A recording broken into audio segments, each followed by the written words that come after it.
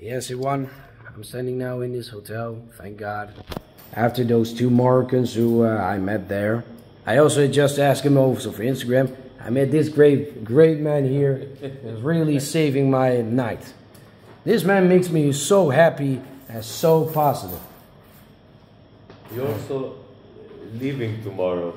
Yeah. Wh- when I well, today, in- today. Yeah, when I was in the United States, I wanted Yeah. to leave. The first day I went, Yeah.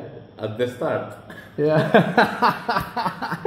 you didn't really like the country or? Uh... No, no, my, I had the fight with my friends. Oh, you had to fight all with your friends, Americans. Uh... Uh, no, Greeks. Oh, Greeks. We Oh.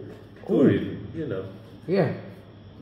Damn. Yeah, that was pissed with them. Uh, that was a really uh, but dangerous situation. you know, I sent them out. Okay. I went to sleep.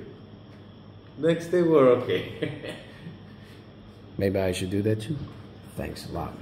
I think the other guys will do it too. Like they will sleep, wake up, and they will be like, uh, they, will, they won't understand what they did. Yeah, I would because they're all sleeping, but I Yeah. don't because I can sleep thanks to them. yeah. They fucked me up. Sorry, them said they fucked me up. And these three women were following me and said, "Oh, you're going to the police?" They said, "Go ahead, go, come. I'll say, send those guys to the police with that no, no, this stupid sounds of them they're making. They, they think they're really tough.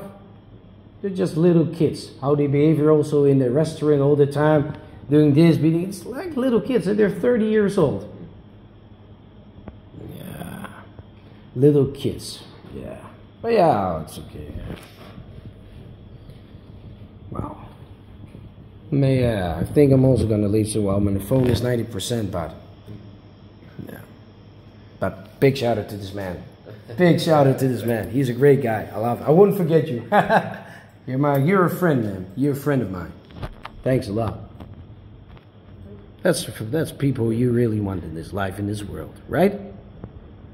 We have enough trouble and wars in this world, and they make trouble enough. And I should ask them tomorrow: Is enough enough conflict, kind of violence, and enough wars? You want to start a war with me? And more, much more trouble or drama, I think they will realize and will be quiet. Yeah, I think you're right, Farhad. Yeah, they would.